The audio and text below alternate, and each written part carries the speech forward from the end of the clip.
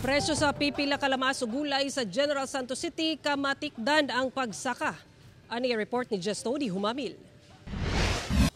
Sayo nga namalengke og lamas o gulay dinhi sa bagsakan sa General Santos City si Joe Lucas. Apan tingi-tingi lang daw una ang iyang gipamalit kay misaka ang presyo sa pipila ni ini. Ikutin mo muna ito tapos kung pinakamura yun ang bilin mo. Para tama-tama lang sa pamilya. Kailangan konti-konti lang para maubos mo. Gani ang luya nga kanhi 150 pesos per kilo. Karon, ana-ana sa 220 pesos ang kilo.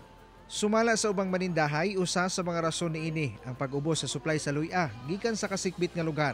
Gani gikan pa sa Manila ang baligyang luya ni Roby Apolonio. Naubos yun siya, sir.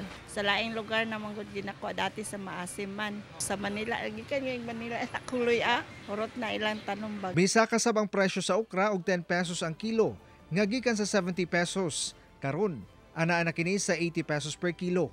Misa kasab ang presyo sa kalabasa nga kanhi 25 pesos matag kilo, nga karon ana-ana sa 30 pesos. Hinoon nagpabilin ang presyo sa ubang mga lamas sama sa Bombay nga naalang sa 90 hangtod 100 pesos ang kilo ug ahos nga 140 pesos ang kilo. Busa ang ubang karinderya, may pasaka sa presyo sa ilang sudan tungod sa taas nga presyo sa lamas ug gulay. Okay ra pod na murag nakasabot na lang pod sila pero nadyo iban reklamo kay mahal na Kauban si Gary Balantay sa kamera. Ako si Jess Tony Humamil para sa One Mindanao.